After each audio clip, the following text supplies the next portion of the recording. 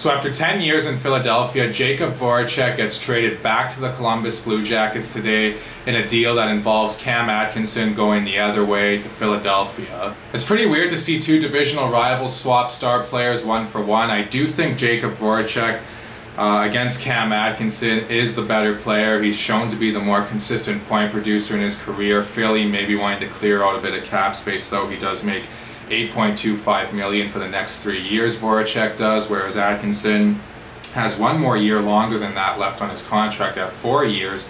But he makes 5.875 mil for those next four years, so maybe that's what Philly was looking at also. I'm a bit shocked Columbus would make this trade because it almost seems like they're in a bit of a rebuild mode, retool mode, so to speak. So to see them get a guy like Voracek is pretty weird. I thought maybe if they were going to deal a guy like Cam Atkinson, maybe they would get like a uh, you know future assets back in return for them, like draft picks or prospects or something like that.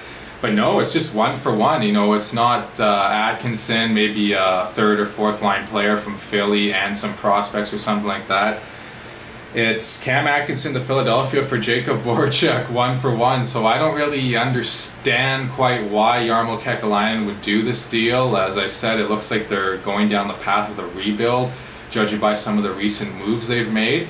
But maybe he feels they can be a competitive team, and that's why he traded for Voracek. And I think Columbus gets the better player in this deal. I like Jacob Voracek better than Cam Atkinson as far as skill goes. I think Voracek has more potential to, you know, rediscover his game, so to speak, in Columbus. Maybe he does that, maybe he doesn't.